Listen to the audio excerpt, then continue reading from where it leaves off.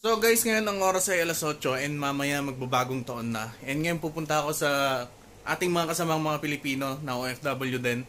And doon tayo magse-celebrate ng New Year. So ngayon nakakamiss kasi ganitong oras pag nasa Pilipinas ka. Bali 9 years na ako nandito sa abroad. And namimiss ko yung pag-celebrate ng bagong taon sa Pilipinas. Kasi ganitong oras, ang dami ng putukan, ang dami na nagkalat na tao sa labas, ang dami na nagbibidyoke, ang dami na nagkakainan. Pero dito, wala. Pero okay lang, dapat maging happy pa rin tayo kasi ginagawa natin to para sa ating mga pamilya. So yun, bali on the way na ako. And yun, taste-taste lang guys, balang araw makauwi din tayo ng Pilipinas. And tandaan nyo yung ginagawa natin para sa pamilya natin. Para mabigyan sila ng magandang buhay. Konting taste lang. So, andito ako pupunta ako sa ano, mga katrabaho natin ng Indonesian, nagse-celebrate din sila ng Pasko dito ay ng bagong taon.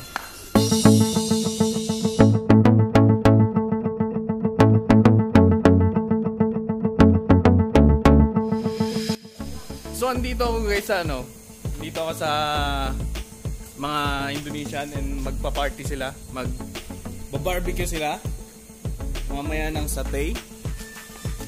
Ito yung ano ginagawa nilang satay. Si Aboy, Agus, Yuno, Apang, Ruel. Kamto, tidada kamto, manada kamto. so, bali guys, gumagawa sila ng ano. Si Kamto. Gumagawa sila ng, ah, apa ini pare? Sate. Sate ya? Sate ayam. Sate ayam. Yes. sate Ayam is manok. Sate maganda. You see? What's this pare? Chicken. Chicken ah. Manok. Manok, manok. Chicken na manok. So ito bali gagawin nilang ano mamaya barbecue. Ito barbecue nila. Pag-celebrate ng New Year. Ang dami nilang. Sosis. Okay, can see? Ito, berapa? How much? Much? No price. No price. Macam one dollar something kan? Ah, one dollar something. Ito nasa one dollar something na 140, 160? Sarap sate pare. Masarap yung Yung manok sate. Don't forget ah, subscribe.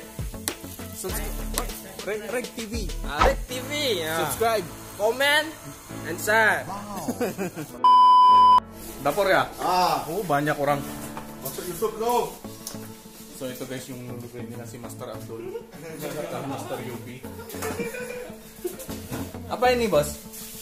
Ayam. Ini tongking ayam. Tongking. Bali. Ini Paa. ayam. Paa. Bumbu dibakar barbecue ya. Barbecue. Nah, Oh, ini. Hans. Hans Barbecue. Yes, yes, yes. Yes, yes, yes. Yan mamaya, bali ano nila yun.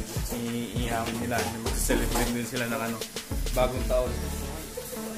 Dito, kusina ng mga ano, kusina ng mga Indonesian. Bali sa kabila, kusina ng mga Pinoy. Sate maganda. Bale, ito guys yung mga ano nila. Pag kumakain sila, may mga tropo. May mga ano, ito mani, kachang.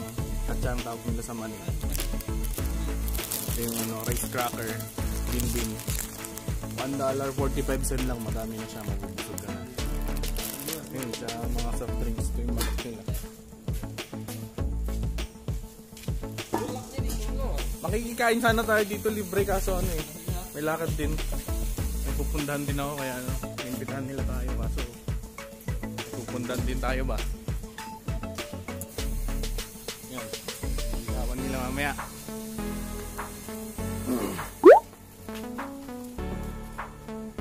Barbecue pare. Happy New Year! Ate.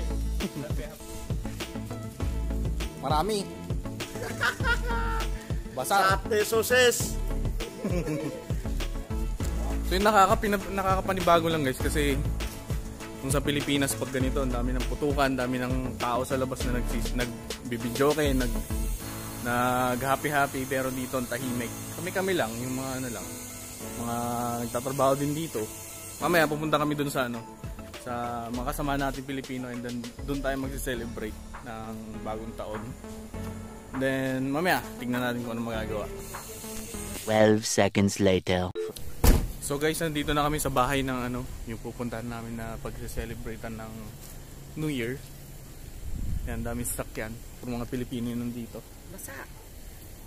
Sa kabila, Happy New Year! Ay, nagbigyan natin na sila eh. bibidyo okay na sila sa loob.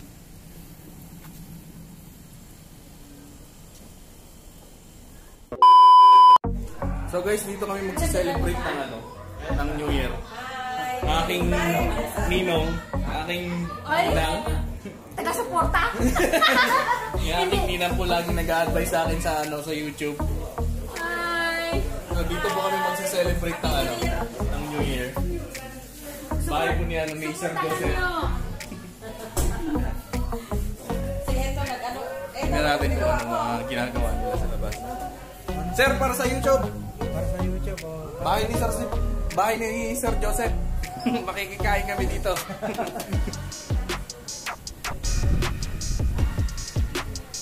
Mga niluluto nila. So yun, tingnan natin mamaya kung anong magagawa dito sa ano, kung may mga paputok o ano. Mag-aabang tayo dito sa Brunei kung may paputok. Wala, tayo. Huwagin tayo dito sa Brunei. Hindi gaya sa Pinas na ano, pag ganitong oras, dami ng ano, marami ng putukan, maingay na sa kapitbahay, dito wala. Oo, oh, may mga lasing na. dito wala na.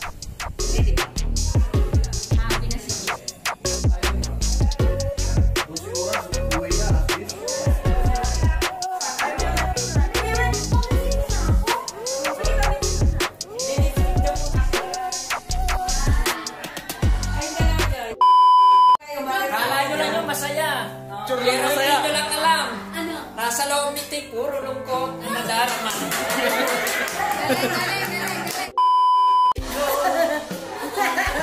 Ulang ko kontra ha, ako kontra pangit. Naman kasi nakaano, oh, ang mga gutom mo. Nagkakagulo na ang mga gutom. Pre, ganon. Tingnan mo. Nakaharap sa inyo. Okay bang? Ayan na ang mga gutom. Oh. Tingin-tingin naman ang mga gutom dyan. Ah. tingnan mo, hindi na... Nak, dahan-dahan sa hipon. Ha? Hi! Ang gaganda nila, oh. Happy New Year! Ayan sila, nagbubukas sa kanilang mga regalo sa New Year. Ayan. Ganito lang, masaya kapag New Year. Once in a year.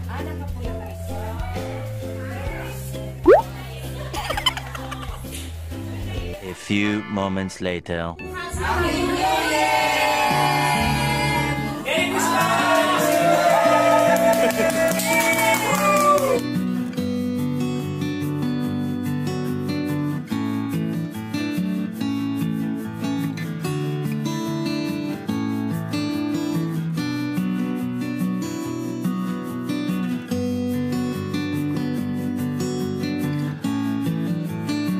One eternity later. Happy New Year po sa inyo lahat. Ngayon ay kagigising ko lang. And anong oras na rin kami nakauwi. So, 2020 na. Bagong taon na naman. Ba, panibagong araw ng bagong taon. Bagong kabanata na naman ng ating buhay. Sa mga kapwa ko OFW dyan, alam ko mahirap mag-celebrate sa, ano, sa abroad. Kahit na may mga kaibigan tayo, iba pa rin yung feeling na kasama natin yung ating mga pamilya. Pero tiis lang guys, para sa ating mga pamilya to yung ginagawa natin. Para sa future ng ating mga anak. Panibagong kabanata, panibagong hamon ng buhay, pero kaya natin yan. Saan man kayo paling ng mundo, Happy New Year po sa inyo lahat and sana maging masaya ang ating bagong taon and sana maging maganda ang ating bagong taon. Reg TV nga po pala, huwag kalimutan mag-like, comment, and subscribe. Peace and goodbye. Everybody knows that I'm breaking down. Everybody knows I ain't faking now. Everybody knows my heart's faking now. Yeah, she hates me now.